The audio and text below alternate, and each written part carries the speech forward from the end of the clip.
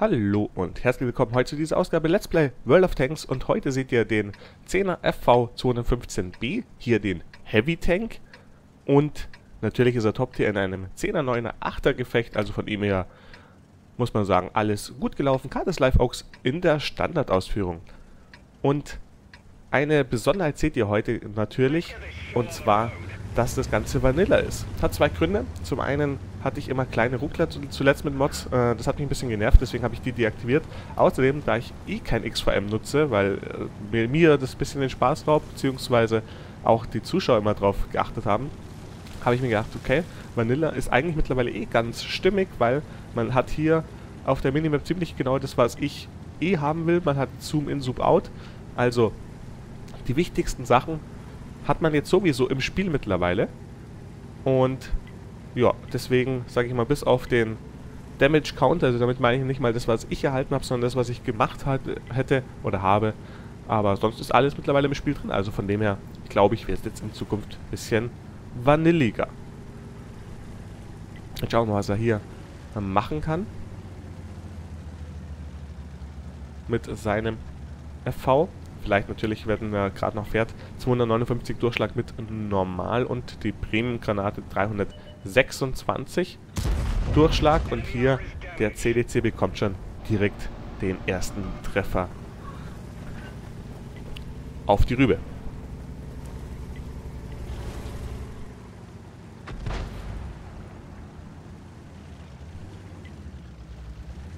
Schöner Panzer eigentlich. Die Markierungen beweisen, dass er den Panzer wohl nicht das erste Mal spielt. Was ich gerade an dem Panzer besonders gut finde, ist die Kanone, weil die eimt sehr schnell ein, die ist recht genau. Hat jetzt nicht den höchsten Alpha im Spiel, ohne Frage. Aber guter Reload und eben sehr genau. Und das ist für einen Heavy vielleicht gar nicht so gewöhnlich.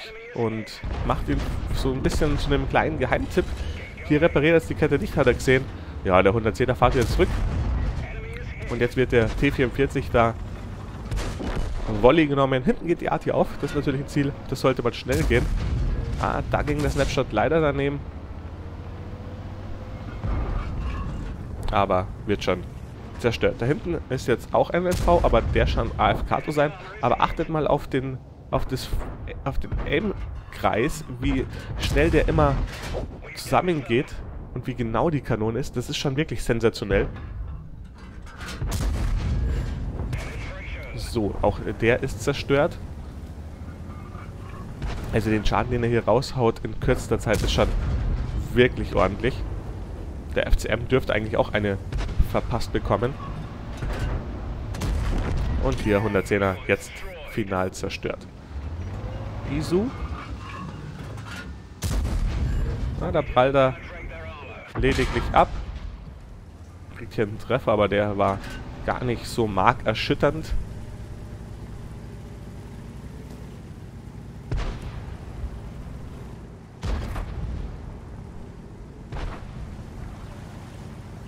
Da jetzt ein Tiger 2 offen.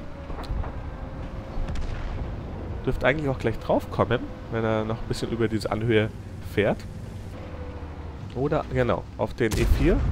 Und, ach, das ist einfach schon sensationell, wie schnell da der Schaden reingeht. Und wie genau das Ding einfach ist. So.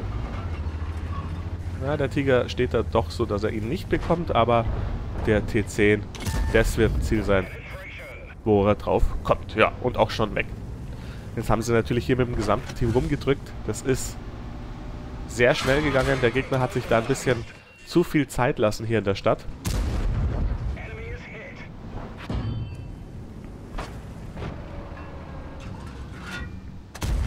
Und auch der Tiger spürt hier die Kanone eindringlichst.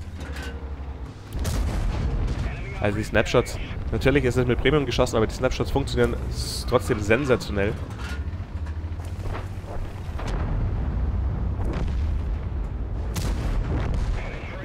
Wahnsinn einfach. So, der Centurion.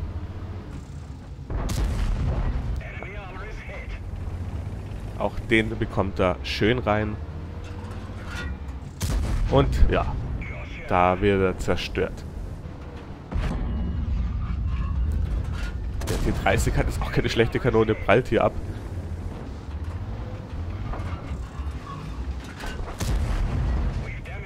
Und jetzt haut er ihn raus. Und dann direkt, jetzt geht's weiter. Also der Reload zusammen mit der Genauigkeit, die Kanone ist einfach fantastisch. T30 ärgert sich hier wegen dem Nutzen der Premium-Munition. Man muss aber auch sagen, er hätte ihn so oder so locker weggemacht in dem Winkel. Also es ist echt scheißegal, was der FV hier schießt. Er hat ja gerade nichts anderes mehr. Der hat recht wenig normale Granaten dabei. Aber am Ende des Tages geht er noch mit Plus nach Hause. Also von dem her soll er schießen, so viel und so wie er lustig ist. Schöne Einlage hier vom CDC. Kleiner Jump. Und nun gibt es noch Ärger für den ESC. Naja, erstmal für den CDC. Und auch der bekommt einer ab und wird durch den Rheinmetall final zerstört. Ja, das war's dann schon direkt.